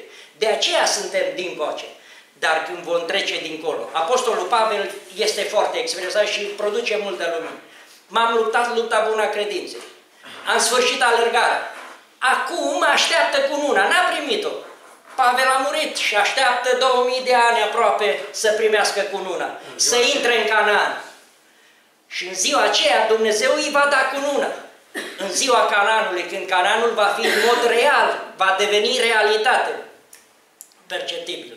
Și așa lucrurile se conexează foarte frumos și foarte bine. Și nu rămân întrebări, nu mai rămân, pentru că mintea este satisfăcută la mărturia cuvântului lui Dumnezeu, nu la mărturia unui om. Aici nu sunt mărturii omene, sunt mărturiile lui Dumnezeu. Prin profeți, prin lege și prin apostol și prin Domnul Isus. Și de asta trebuie să ne bucurăm. Pentru că este cuvântul lui Dumnezeu. Nu este înțelepciunea mea, nu este perspectiva mea, nu vă vorbesc de ceva personal, de vreo înțelepciune omenească, despre care Pavel amintește și îngeri dacă ar veni. Nu dați credit, nu, nu acordați credit. Mărturia lui Dumnezeu trebuie să stea pe primul loc. Cuvântul lui Dumnezeu este viu și lucrător, mai tăietor decât orice sabie cu două tăișuri. Și produce reacții. Cuvântul lui Dumnezeu în mod adevărat produce reacții în noi. Noi mergem mișcați de aici pentru că ne-a afectat cuvântul lui Dumnezeu.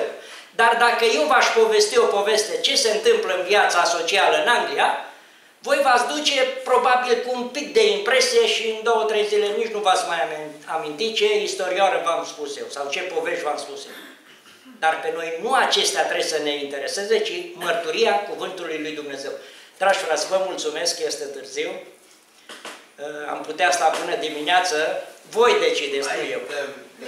Eu sunt la dispoziția voastră. Fratele și apoi sorana. La câtă frumusețe este în planul lui Dumnezeu. La câtă descoperire este în el. La cât au uh, ajuns oamenii. Oare când va fi descoperirea, așa cum zice acolo, când va veni El, îl vom vedea așa, așa cum, cum este. este. Oare cu cât ne va uimi, cu ce procent încă ne va mai uimi Dumnezeu în frumusețea planului? Pavel are o exprimare și genială. Ochi de om n-au văzut. Da. La inima omului nu poate reflecta, nu poate, inima aici este spiritul. În omul, în spiritul lui, nu poate să-și imagineze ce înseamnă o relație așa, vizibilă, față în față cu el. Nu poate. Încă suntem pentru că suntem din coace de Iordan. Abia când vom trece Iordanul și aici trebuie să nu uitați tipologie. Toate aceste personaje au tipologie și trebuie să le numim astăzi în timpul nostru care e faraon în timpul nostru, care e întâiul lui născut, care e întâiul născut al lui Israel, cine-i mielul, cine-i Moise, cine-i Aron, cine-i Iosua și încă există elemente de tipologie aici. Pentru că acesta e scenariul, acesta e modelul după care Dumnezeu lucrează. Nu lucrează după un alt model. Și ne-a dat două, trei, patru mărturii în acest, în acest sens. Toate consună una cu cealaltă. Și când le vedem împreună frumusețea lor și că sunt în armonie perfectă, mintea se bucură la maxim. Inima acordă credit și Dumnezeu se bucură de aceasta pentru că nu ne bucurăm de o perspectivă a unui frate care trebuie să devină important între frați. Ne bucurăm de Dumnezeu care trebuie să rămână important în mijlocul nostru. La fel pentru mine, la fel pentru voi. Dacă și noi ne obișnuim ca alți creștini, să construim un model în care în mijlocul nostru este important un frate și nu Domnul Isus și nu Dumnezeu și nu mărturia cuvântului Său, avem o problemă, dragi frați. Reflectați la această nuanță. Ce înseamnă să acordăm credit unui frate care vorbește perfect? Hai să punem acest context. Care nu greșește în vorbire, nu greșește în exprimare, nu greșește în nimic. E perfect. Putem să luăm un asemenea model? Nu. Nu putem. Doar pe Domnul Isus. Unicul model pe care îl avem cu toții, și eu și voi, este acesta, este Domnul Isus. Conform acestui chip, aici trebuie să devenim. Pavel, Efeseni, capitolul 4, versetul 23, 19, 20, 21, 22, 23. Să vă dezbrăcați de omul cel vechi, să vă înnoiți inima, mintea, în armonie cu standardele Lui și după ce te-ai dezbrăcat și te-ai înnoit, ce să faci? să te îmbraci în omul cel nou, care este conform cu ce? După chipul și asemănarea. Conform, sunt acolo trei elemente, zice bine fratele Lean, dar eu vreau să subliniez elementele conform cărora, cărora este acest om nou. Adevărul lui Dumnezeu, dreptatea lui Dumnezeu și mai există un element acolo. Traducerea de limbă română este deficitară în acest pasaj puțin nu este foarte clar. Și întotdeauna când aveți pasaje de felul acesta, trebuie să fiți foarte atenți la detalii. Că cuvântul lui Dumnezeu este clar, doar în versiuni nu există suficientă claritate, deși versiunile la origine au avut ca scop să, pun, să pună cuvântul lui Dumnezeu într-o formulare mai corectă, mai expresă, mai, mai adevărată. Efeseni, capitolul 4, 23, te rog dacă nu s-a închis și nu e prea mult. E, e prea frumos versetul să nu ne uităm la el puțin. Să vă noiți în Duhul minții voastre și partea ultimă și să vă îmbrăcați în omul cel nou, făcut conform chipului lui Dumnezeu, de o neprihănire și sfințenie pe care o dă adevărul. Nu aceasta e exprimarea Apostolului Pavel omul lui Dumnezeu, chipul lui Dumnezeu stă bazat pe trei principii. Neprihănire, sfințenie și adevăr. Acestea sunt elementele ce coordonează omul nou conform chipului lui Dumnezeu. Și așa trebuie să sune acest pasaj. Dar aici, în versiunea Cornilescu, nu e suficient de clară exprimare. Și nu pentru că vă spun eu, dragi frați, aveți posibilitatea să verificați. Asta e frumos. Eu nu vă spun ceva ce nu puteți să aveți acces. Se poate. Nu trebuie să știi neapărat o limbă străină, nu trebuie să știi neapărat. Se poate verifica. Avem instrumente de verificat. De ce să nu profităm de ele? Putem să profităm. traduceri sau cum să verificăm? Există și alte, avem instrumente lingvistice, avem dicționar, avem lexicon, avem uh, traduceri, traducători de mai multe feluri, sigur, și avem instrumente cu care putem să verificăm dacă exprimarea, mai ales când avem atenționări sau observații, pasajul acesta are o exprimare deficitară.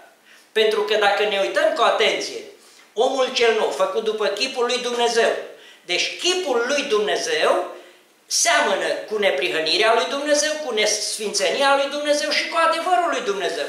Acestea sunt principii. Și neprihănirea, și sfințenia, și adevărul. Nu așa cum sună aici, de o neprihănire și o sfințenie pe care nu adevărul le dau acestea. Dumnezeu le dă pe acestea trei. Sunt ale lui Dumnezeu, adevărul lui Dumnezeu, sfințenia lui Dumnezeu, neprihănirea lui Dumnezeu. Toate acestea le dă Dumnezeu, nu adevărul doar. Rezultă din adevăr o sfințenie și o neprihănire și adevărul creează o stare de neprihănire și o stare de sfințenie. Dar Dumnezeu le dă acestea, sunt calificativele Lui. Nu doar adevărul separat, că atunci adevărul ar fi o categorie filosofică de unde noi devenim oameni noi. Ori oamenii noi nu-i creează adevărul ca, ca instrument, ca principiu, ci Dumnezeu este făcătorul creației noi, a omului nou. Și aceast, acest om nou este în armonie cu aceste trei direcții. Este în armonie cu Sfințenia lui Dumnezeu, cu dreptatea lui Dumnezeu și cu adevărul lui Dumnezeu. Acesta este omul nou, ce are la bază aceste caracteristici. Da, așa, așa cum ai explicat, dar și uh, adevărul seamănă cu Dumnezeu. Pentru că avem o expresie foarte frumoasă în Isaia, și vă aduceți aminte de ea, doar Isaia spune Dumnezeul adevărului. Și aici adevărul și Dumnezeu se confundă, sunt uh, sinonime. Este uh, gândul lui Dumnezeu, nouă, uh, întrupat în litere. Da. Dacă doriți să mai întrebați ceva? Am vrut să... A, sora Ana și-am uitat.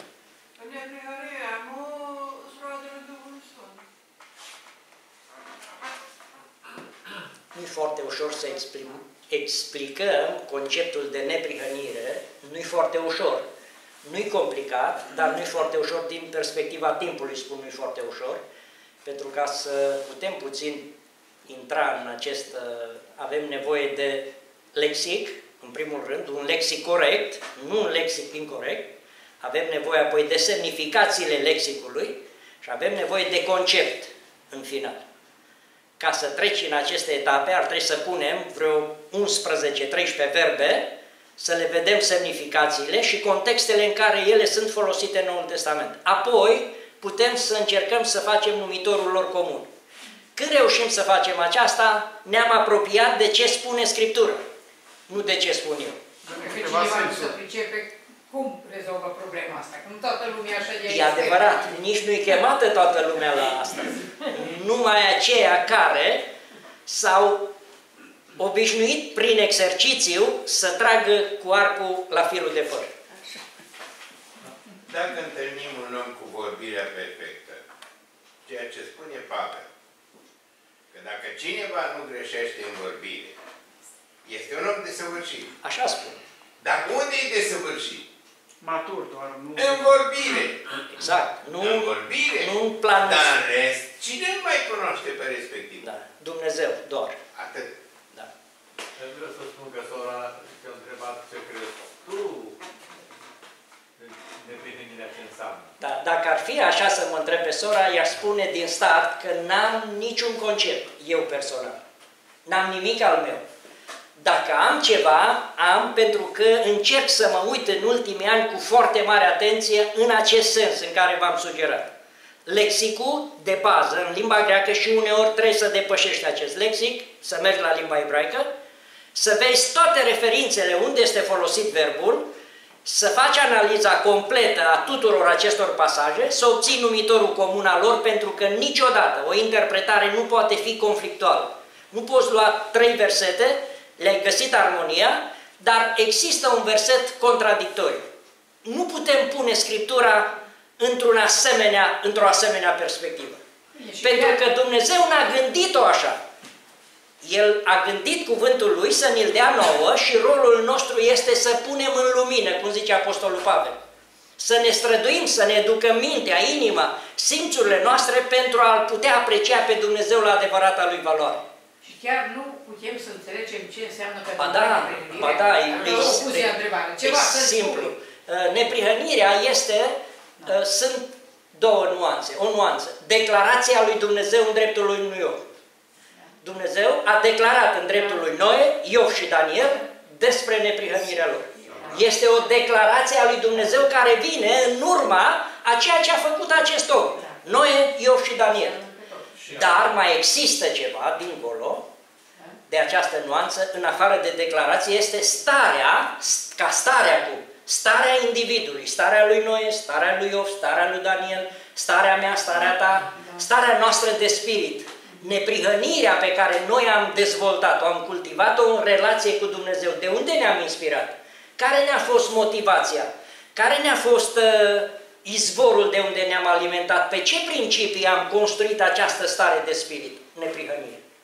Și este admirabil. Așa ar trebui să parti. Adunarea trebuie să aibă acest scop, fraților. Când zicem studiul Scripturii, îmi pare rău, dați-mi voie să fac o exprimare un pic mai aspră. Frații s-au obișnuit să studieze opera pastorului Russell spunând că studiază Scriptura. De aceea am rămas atât de în urmă și nu cunoaștem. Foarte mulți frați spun, eu mă mir, zice, de frații penticostali sau de frații baptiști sau de alți frați, că cunosc foarte bine Scriptura, în memorie. Și eu nu cunosc. Păi când îl întreb pe fratele, de ce nu cunoști și tu, frate? Nu-ți place cuvântul lui Dumnezeu? Cum de tu nu-l poți spune în memorie? Păi spune, păi nu sunt așa familiar. Eu studiez mai mult opera pastorului Russell și cu asta sunt foarte familiar. Nu-i rău. Nu vreau să condamn frații care au acest tip de exercițiu. Dar acest tip de exercițiu creează această stare. Creează o stare. Când te interesează cuvântul lui Dumnezeu până în detalii, vei merge cu instrumente și vei merge foarte serios aici, pentru că stai în fața lui Dumnezeu. Și nu tu lucri pe Dumnezeu și nu tu îi dictezi lui Dumnezeu care e aranjamentul și cum e planul și care sunt lucrurile. Și trebuie să-ți pleci genunchi înaintea lui de fiecare dată și să înveți să asculți. Păi ca să înveți să asculți când tu știi toate, cum poți să asculți? Nu poți să asculți. Iertați-mă, fraților. Avem deficiențe. Eu însumi am avut multe deficiențe și mai am. Nu mi le-am rezolvat pe toate dar din mila și darul lui Dumnezeu încerc să mă pun în armonie cu El. Încerc să învăț să ascult. Știți cât e un copil cât e ghedărătnic, că numai nu vrea să asculte ce spune tata. Dar nu din răutate neapărat, ci din lipsă de exercițiu. N-am învățat să asculte de mama și de tata. La fel și noi în plan spiritual. N-am învățat, am fost învățați. Când am fost învățați într-un fel anume, care e puțin diferit, nu-i rău, nu-i de condamnat, nu vreau să condamn. Dar când te ocupi de cuvântul lui Dumnezeu, când stai în fața cuvântului direct și când urmărești să-ți întrebuințezi câștigul pentru viață ca să o obții de aici, este altceva. Este diferit. Tu atunci nu te grăbești să răspunzi și să ripostezi la un frate care a vorbit nu după urechea ta, atunci vei sta cu minte și liniștit. Și există frați din ăștia care știu să stea liniștit și să aștepte și să tacă și să îndure și să tolereze și să fie cu minți și îngăduitori și blânzi. Sunt frați care au, au dezvoltat această stare de spirit. Dar observați câte un frate care îi căpetenie, ce stare de spirit are. Dacă vorbești ceva și te atingi, împărăția nu stabilită, satan nu-i legat, Domnul nu-i prezent, Foc și pară. Aceasta nu e atitudine. Iertați-mă, dragi frați. Nu este atitudine de apreciat. Este o stare de spirit cultivată într-un anume mod. Nu este o stare de spirit cultivată cu Scriptura în față. Când stai în fața lui Dumnezeu, aduceți-vă aminte un exemplu de la Iov. Merită să-l învățăm cu toții și să nu-l uităm niciodată. Iov auzise vorbindu-se despre Dumnezeu mulți ani din viața lui. Și a trăit extraordinar, doar după ureche. Dar la un moment dat, ochii mei l-au văzut. Ce s-a întâmplat când ochii lui Iov l-au văzut pe Dumnezeu? Înțeles. Atunci s-a pocăit în sac și cenușă. Reacția când stai în fața cuvântului lui Dumnezeu produce pocăința adevărată în sufletul meu, în inima mea, în mintea mea. Nu cine se o să-i răspund la fratele că nu o zis bine, după teoria mea. Nu mă mai frige dorul acesta să-i răspund fratelui în contradictoriu. Voi ști să stau în bancă, să-l las să vorbească, să-și termine lecția și să mă rog pentru el ca Dumnezeu să-i deschidă ochii și să-i pregătească inima, să se întâlnească cu Dumnezeu așa cum trebuie. Nu cum aș vrea eu, nu după instrumentele mele. Când îl vedem, când descoperim pe Dumnezeu, ne vedem micine. Exact. Atunci nu suntem nimic. Aduceți-vă aminte, cântăm o cântare, la început, totul al meu, nimic al lui. După un pic de vreme îmi dau seama că, bă, un picuț are și el, dar al meu e majoritar, 80%. Apoi 70% că atât îmi dau seama că ceva nu funcționează bine. Că în mod real adevărul e că nimic al meu, totul al lui. Când e așa, atunci abia relația noastră este foarte fidelă cu Dumnezeu. Abia atunci e frumosul și viața în plan spiritual așa cum trebuie. Că El n-a venit să ne dea o viață de asta așa cu frânturi, cu părticele, cu uh, un picuț de bucurie, ci a venit să ne dea viață frumoasă și așa cum trebuie. Numai El poate face lucrul acesta. O, o, o secundă încă. Ce ne spui în privința planului atât de înalt de nu se poate ajunge la acest plan, la înălțimea lui, doar, doar pe aici, pe acolo? Nu se poate. Doar dacă Dumnezeu s-a angajat să te introducă în planul. Doar în nu mi-aparține mie împlinirea, mi-aparține și mie acordul voinței. Dumnezeu vrea acordul voinței mele să mă acord pe lungimea lui de undă.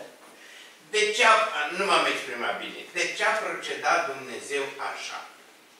Să descopere această înălțime sau să o țină atâta de, de sub cheie, cum am zice, atâta de să o descopere numai El pentru anumite Aș face o comparație, nu e cea mai uh, înțeleaptă acum, dar asta îmi vine acum, pe moment. Poate de altă dată îmi va veni în minte ceva mai frumos. În armatele de elită, în anumite trupe de elită, unde sunt pregătiți militari, sunt trecuți prin multe filtre.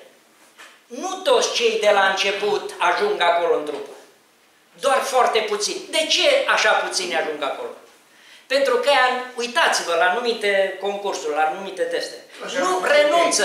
Oricât este de greu, aproape de finalul de viață, nu renunță. Nu se dă bătut. E aproape fără suflare, e aproape epuizat, e aproape depășit de situație, dar nu renunță. Și cel ce se uită, vede în el un potențial. Păi Dumnezeu când se uită la noi și abia venim și duminica la adunare. Și citim din Paști în Crăciun și stăm în fața oglinzii când și când. Și ne bucurăm când mai câte un frate ne mai bucură câte un pic. Și nu știm să facem altfel. Cum e asta? Ce fel de militar de elită suntem noi? Unde ne poate folosi Dumnezeu? Numai când ne-am pregătit. Responsabilitatea este a noastră să ne pregătim, că El ne-a pus la dispoziție și ne lasă. Vrei? Îți place de mine? Hai să-ți arăt frumusețile adevărului. Și cât te interesează adevărul lui? Până la când e vorba de doctrină. Când e vorba de doctrină, nu o lasă-mă și pe ăștia căsători.